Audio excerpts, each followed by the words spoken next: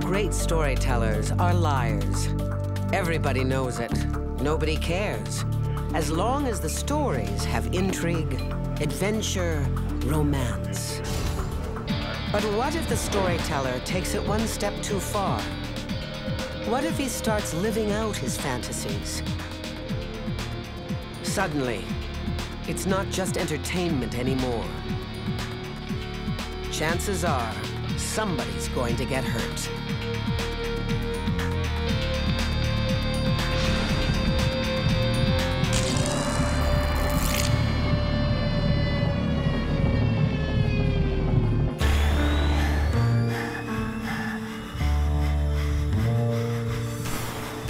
In true crime, investigation and conviction may take years.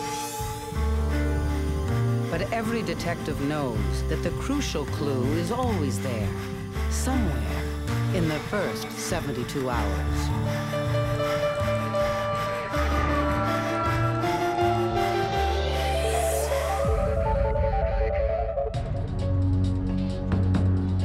November 6th, 2002. Sergeant Bill Napier is in charge of the Major Crimes Unit in Winnipeg.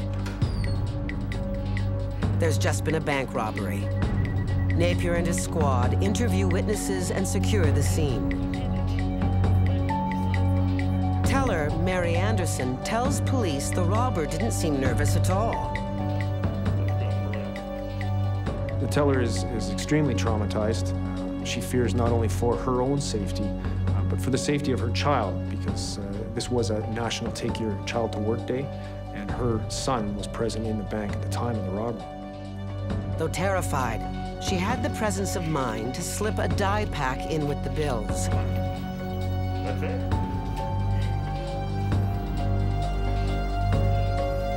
Dye pack is uh, an explosive device that's uh, placed in the cash uh, to detonate once it leaves the bank. And the objective of this, obviously, is to destroy some of the cash and put evidence from the bank robbery onto the suspect. In the alley behind the bank, police soon discovered the dye pack has done its job. They find uh, clothing that has been discarded by the suspect and the actual firearm that was used in the robbery. Police hope to find fingerprints and traces of DNA. They send the evidence to the RCMP for analysis. Sergeant Napier studies the bank's surveillance tapes, but all they reveal is that the robber is heavy set. Typically in, uh, in our city, we, we have a lot of robberies that occur uh, by substance abusers, crack addicts that are uh, much thinner than this intimidating suspect. Because of the suspect's size, he's dubbed the Fat Bandit. Police track down and interview anyone who fits the description. Sergeant Alan Bell is one of the detectives assigned to work the robbery. We had no suspects, positive, direct suspects in mind. Uh, we had done all of our usual checks and we weren't able to come up with anybody that we could directly focus our investigation on. Two months later, the Fat Bandit strikes again. He's netting less than $3,000 a robbery. Police ask themselves, why risk so much for so little?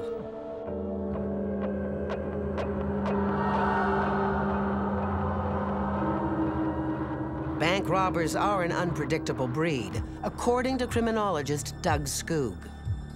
Guys that rob banks are unusual guys. It's a very dangerous kind of crime to get involved in, uh, but they love the thrill, the tension before doing it, the kind of rush that they get when they go into a bank. They seem to like it, I think because of that kind of adrenaline rush and the thrill that they get from it. So they continue to do it, oftentimes even when the rewards aren't that great.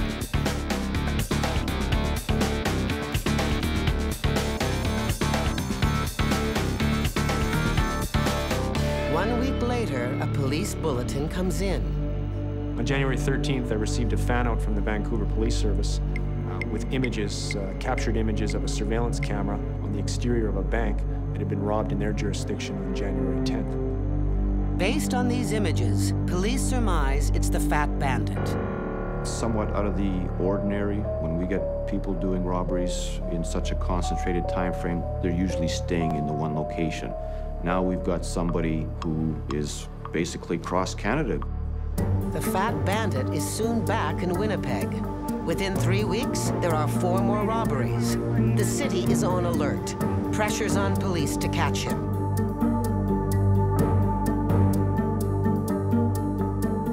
The case is getting a lot of media attention. Each day that a bank is robbed, it, makes the evening news.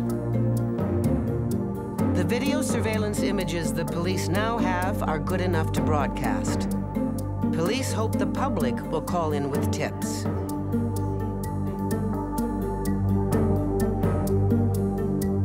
Tips lead nowhere. The Fat Bandit's identity remains unknown. Now, police fears are starting to mount. We were becoming frustrated um, because of, of the weapon and the increased frequencies. We were concerned that somebody was going to try to do something to stop him and somebody's going to get hurt. On February 7th, the Fat Bandit commits his seventh robbery in three months. But this time, a man who lives near the bank is able to tell police what he saw. An SUV pulled up. A man took off some clothes and threw them in the back. Then he changed the license plates and drove off. The witness never saw his face. Police now have a solid ID on his vehicle, a black Yukon. They know his height, his weight, what he drives. Police also have a geographic profile of his robberies. After the February 10th robbery, we determined that the suspect likes the southwest quadrant of the city. We suspect strongly that either he lives in that area or has some reason for committing crimes in that specific area of the city. Napier now has 40 undercover officers staking out banks in southwest Winnipeg, and another 10 officers cruising the area in unmarked cars. All we wanted to do at this point was find this individual and rip his mask off. February 14th, Valentine's Day. Suddenly, the call came over the radio that a robbery had just occurred to a bank on Waterloo, which was out of our area.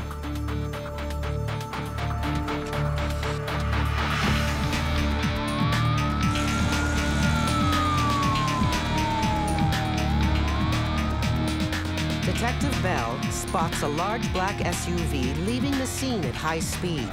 He joins the chase. We were third unit in line, I guess about a mile back from the vehicle. He got onto the perimeter highway, but suddenly he made another westbound turn off of the perimeter and went westbound on a dirt road. We were second unit in line behind a marked cruiser, just a basic single lane dirt road doing 160 to 180 kilometers an hour, and no signs of him slowing down whatsoever. The driver finally skids into a ditch. Police have him cornered. They know he's armed. He could be dangerous. Detective Bell orders him to give up his weapon and surrender. The Fat Bandit is about to be unmasked.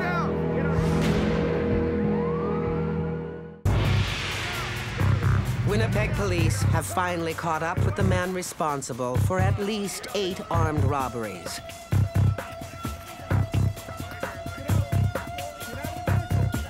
His car doors are blocked by snow. His only way out is through the window. It's the moment they've been waiting for. But he's not what they expect. We looked at him, and he could be anybody's uncle, and with his build, he could put a Santa suit on, and he could be Santa at Christmas time. According to his ID, the Fat Bandit's real name is Klaus Berlikow. In the cruiser, he was extremely upset. He was crying. He said he was ashamed of what he had done, that this was going to ruin his family. He was quoting Shakespeare. I remember him quoting passages from Paradise Lost. At that point, I kind of realized that this wasn't your regular down and out bank robber. This guy had, you know, somewhat of a normal life at some point in time. It turns out Berlikow's life is anything but normal. Until a year ago, he was a well-known senior bureaucrat working for the city of Winnipeg. He helped organize many high-profile civic events, among them the Pan American Games. City Councilor Harry Lazarenko has known Klaus Berlikow for 20 years. I was shocked. I thought that this was not the person. I thought it had to be another person with that name. He was in charge of the downtown festival with as many as 200 to 300,000 people. I'm saying that this man was capable. He was good at organizing. Police are baffled. How does someone go from making six figures a year to robbing banks? Berlikow begins to tell his story. It's difficult for me to explain how I got from that point to where I am here uh, today. When Berlikow stopped working for the city, he got a $170,000 severance package. He decided to reinvent himself as an events planner, focusing on Celtic music. I decided that the best opportunities uh, for that particular business would exist on the West Coast. Berlikow says he made contact with some venture capitalists who set him up with a business partner in Seattle.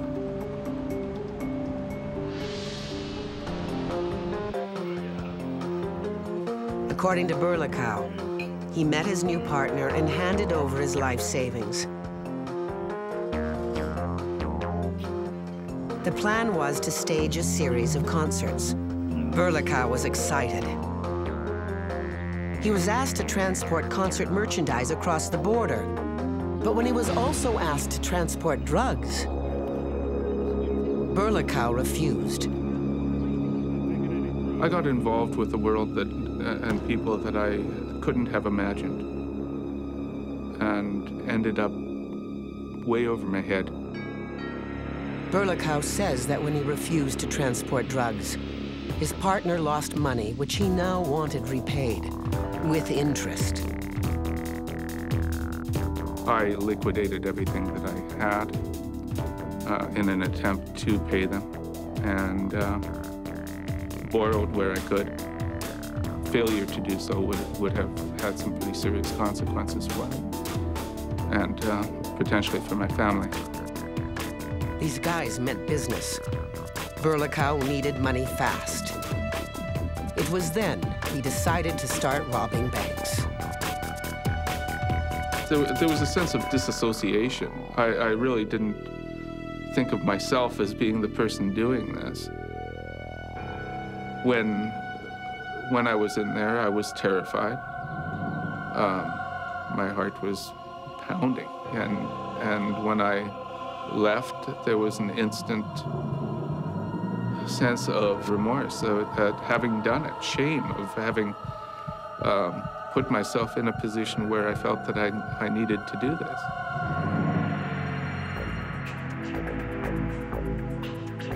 Was Klaus Berlikow really robbing banks to protect his loved ones from mobsters and drug dealers?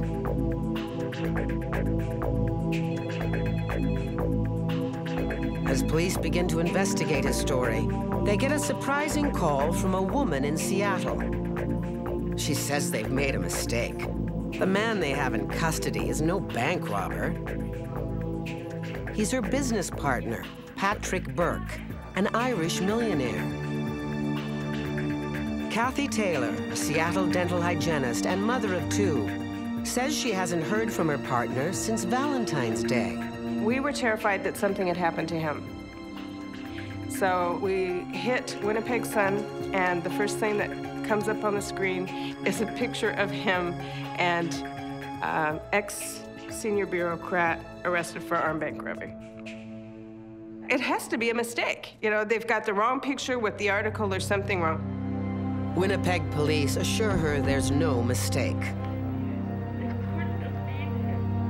About a half an hour after this conversation, the FBI calls my home and tells me that they need to meet with me because my partner just robbed several Canadian banks, and they were afraid that he'd been robbing banks in Washington as well.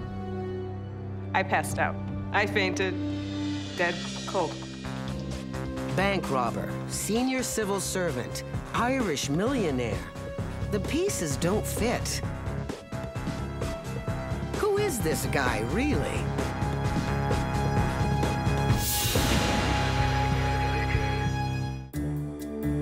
Former civil servant Klaus Berlikow has told Winnipeg police that he became a bank robber to pay back West Coast mobsters. Now, police learn he may have another identity. The information we receive from uh, this witness in Seattle, we take very seriously. Uh, we act upon it and uh, try and establish if there's any credibility to the fact that he was using the alias Patrick Burke. Berlikow freely admits he traveled under an assumed name. Frankly, I've never been all that fond of my name. Uh, it's, it speaks to an ethnicity that I don't embrace. Berlikow won't talk to the police about Kathy Taylor. But Kathy Taylor is happy to talk about him. I met him in an online chat room, and I was moving through chat rooms of different countries, and I picked Ireland. And this this person sent me an instant message, and his nickname was Tin Whistle. He's brilliant, and he is amazingly funny. I mean, I finally would turn him off sometimes and just get up from the computer and walk around and get away from it because I was dying. He's hysterical. First time we met was in a bar, and I had some friends sitting to the side because, you know, it's an internet thing. He told her all about his childhood in Northern Ireland, how he joined the IRA after his best friend was killed by stray bullets. Now, he said, he wanted to set up an events planning business in Seattle. He wanted Taylor to be his partner. He chose Seattle because it reminded him so much of his home in Ireland the mist over the water and the, the mist through the forest. He had the cutest Irish accent. He was just a round, jolly little Irishman. But he told me one time that he could live in the Sorrento Hotel at $600 a night for the rest of his life and never be out of money.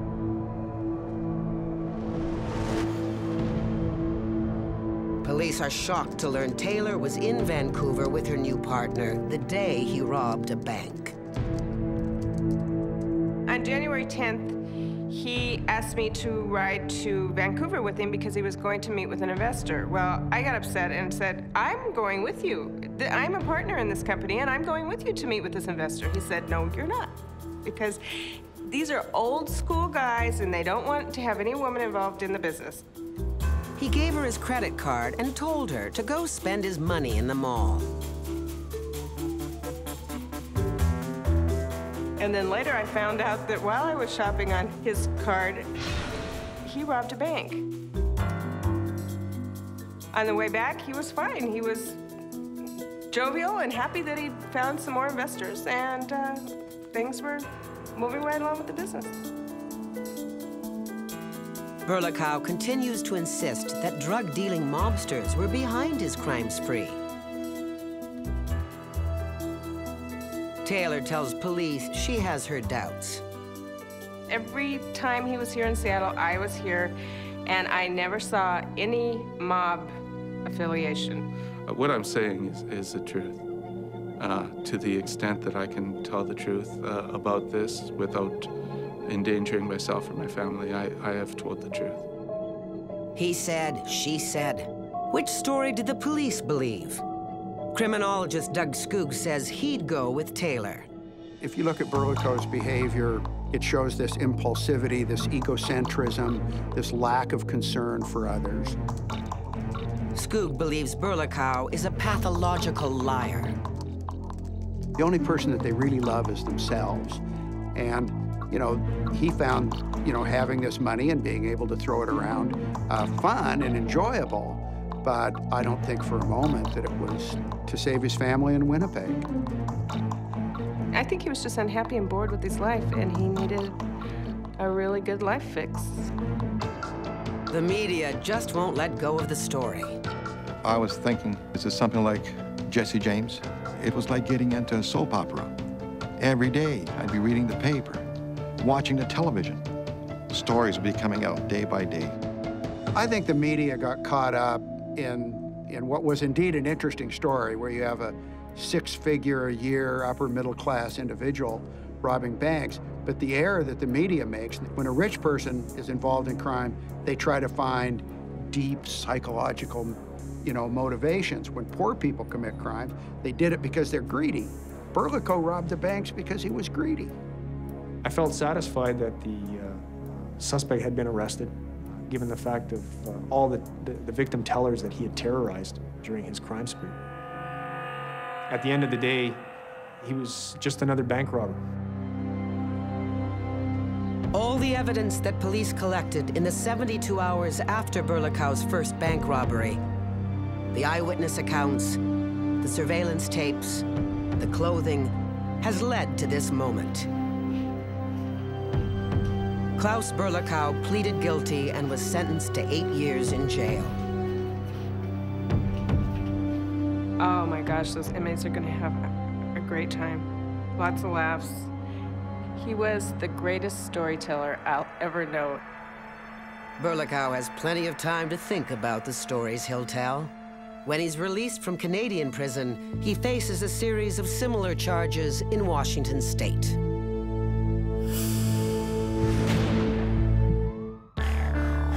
Stories on 72 Hours are true.